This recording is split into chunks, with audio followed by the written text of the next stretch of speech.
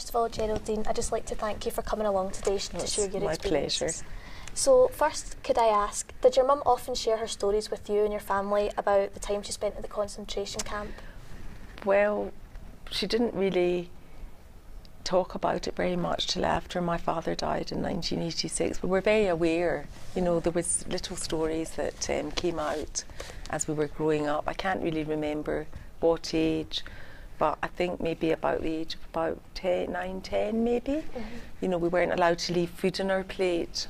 Uh-huh. Everything had to be eaten and nothing was wasted, no food, everything that was be absolutely taboo to put any any food in the bin and my Yeah. mother wasn't really um, very caring about when they later on when they had sell by dates if it Mhm. looked okay it was fine Yeah. Prior to the war, was what was your mum's life like? Um, was she at school or was she employed? she was at school. She and then she went to private english grammar school. Um, she was an only child and i think actually she was quite spoiled and her father was um, quite high up. He was the manager of the bohemian union bank in prague.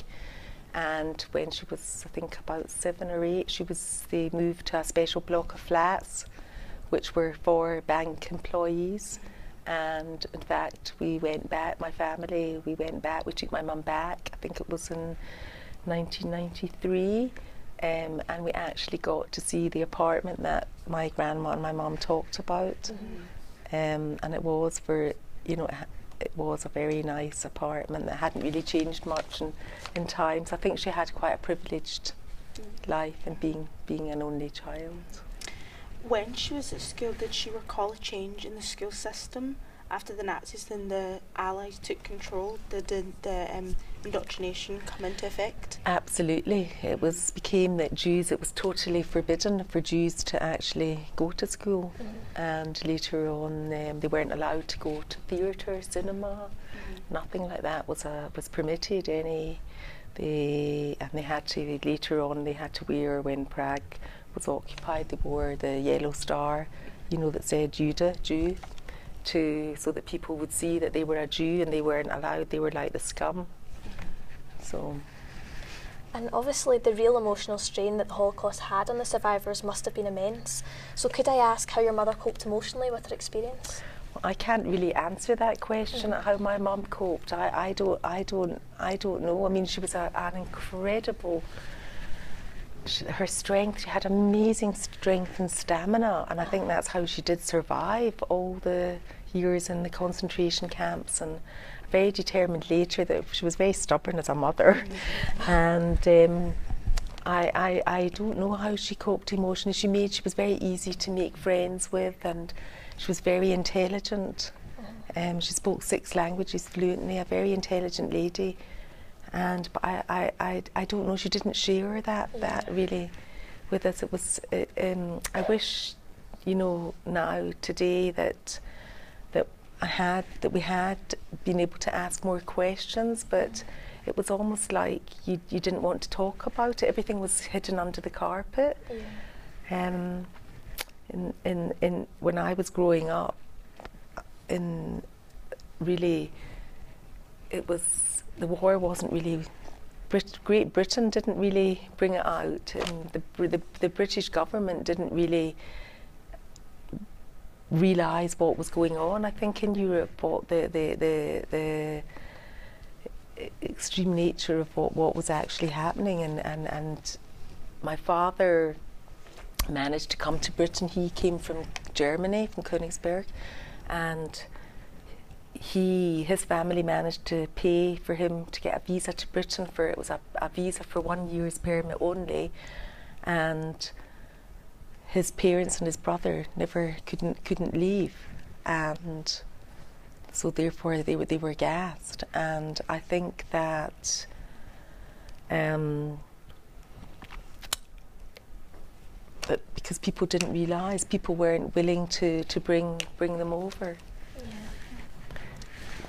Your mum in her video speaks of malnourishment being a huge issue. Do you think that the example of the Holocaust could in fact help open the eyes to starvation in our modern world, perhaps thinking about to donate to charities such as Mary's Meals? I wish I wish it could make people aware of people starving. Unfortunately, the world today in so many countries, look what's happening in Syria at the moment, and it's been going on ever since the Holocaust. I don't think the world has learnt from from what happened in the late 30s and the 40s, and it's just continuous, a major problem throughout the world. And if people were more aware, it would be a wonderful thing. Absolutely. Yeah, of course, for most of us, the harsh reality of the concentration camps and death camps is almost unimaginable. Uh, may I ask, do you believe the Holocaust had an influence on your mother's faith? Well, that's a funny, a, a very good question. My father uh, became, my mum married my father, and my mum didn't actually come from a particularly religious background. She didn't grow up in a religious way. Her her own her, her grandparents I think were, but she she wasn't, and because my dad became a minister, he was a reverend in the. She had unbelievable beliefs, it, and it got strong, grew stronger. I mean, my father died in, in December 1986, and you know, she could have possibly changed after that time and not maybe followed the faith in such a, uh, to such a high degree. However, she continued, and if not even more so. Yeah, she had she had belief in God because I think, I think I used to say to her, "Where was God in the concentration camps?" And we, we can't really answer that. However, I think the fact that her life was saved and she had so many things that were kind of lucky that happened to her that maybe there is a belief there you know she she really did believe in god Absolutely, that's incredible. Um, did either yourself or your mum ever return to Auschwitz? And if any of you did, was what were your or her thoughts on it? well my mum never ever went back to auschwitz i don't think she could have ever done that um, it was difficult enough when we did return to prague um, it was very emotional. I actually got very myself found it very very hard, and because um, however Auschwitz, I I would one part of me would like to visit Auschwitz. I've never been, but something just stops me from being able to go there. Where for my sister, I've got an older sister, and she went to Auschwitz many years ago with a group of people with her husband and she even managed to speak, at, in Auschwitz for the group. And I just, t- to me, I, I mean, it's wonderful that she went, but part of me doesn't want to go because today Auschwitz isn't what it was at the time of the war. When my mum and my grandma were in Auschwitz, a bird didn't even fly past because there wasn't a tree, there was not nothing green, only yellow mud. And today it's all manicured. It's been made. It's more for. It's it's it's it's not what it was. It's, I think it's wonderful for people to go and see. Part of me wants to go, and part of me scared. I think I'm. I, I don't. I'm not sure. Ask me in ten years' time. Maybe I'll have been. and what about after the war? How did your mother start her life again? Did she find it very difficult to adjust to normal life after liberation? Well, my grandmother at the very end of the war, um, when they were in Bergen-Belsen, um, my mom, my my mum, when the British Army came to liberate Bergen-Belsen, and because of my mum's knowledge, um, was so fluent in English, she became the interpreter for the British Army under Field Marshal Montgomery, and her, her mum was very ill with malnourishment and the, the Red Cross suggested that the best country for them to go to would be to Sweden, that they would get better medical care. So they were put on a boat to Malmo in Sweden, and there it was the Jewish community got involved with the refugees that were coming, and they eventually they made friends with a family who were the Sterner family he they had a big shoe factory, and this Mr. Sterner had a daughter, Mira, who became my mum's friend.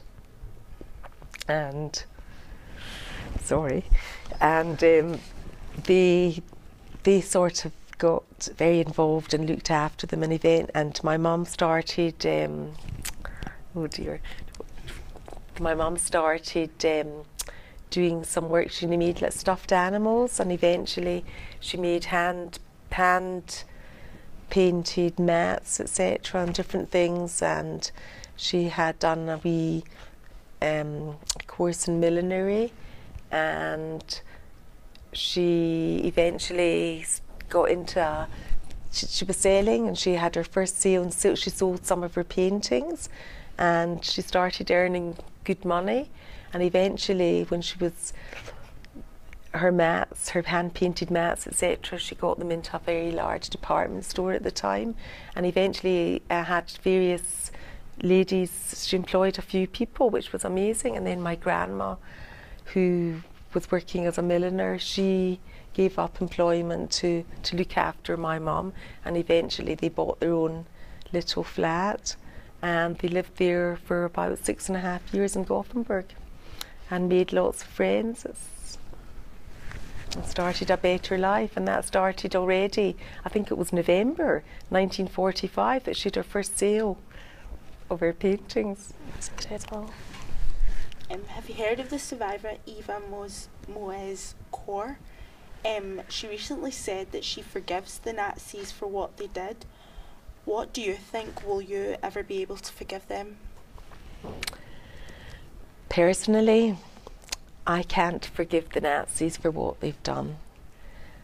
Um, the only thing that I, because it's the only thing that I can say is that I used to say that the SS, that sometimes one or two of them, they had a bit of humanity in them. They would turn their backs if they saw an elderly gentleman praying or different things going on. That they would, you know, try to to to be a bit, show a wee bit of care because a lot of these men, they were forced into doing what they were doing, or they and their families would be obviously murdered, or because Hitler, as you know, was just so evil, so, so evil. And finally, is there a particular message that you would like to leave with the young people here today? Do you believe that it is possible to fight and perhaps eradicate indifference, racism, hatred and anti Semitism in our society today, or do you think that that view is naive? I would love to see it could all be eradicated, love it, you know, but unfortunately, there's so much hatred going on in so many countries in the world through religion, as we all know with what's going on today the one thing I would like to see is that my mum always, what she campaigned for, she always believed, doesn't matter if you're pink skinned, white, brown, yellow, no matter where you come from, what you are, we're all flesh and blood, we're all the same, and we should all just love each other. It's so important. We're, you know, it's. I, I would love to be able to wave a magic wand and make the world a peaceful place, wouldn't we all? But unfortunately, I, there's too many bad and evil people that dictators in this world, and I don't know how. I, I would love to be able to know that answer. Thank you very much, Geraldine. Thank you so much for having me.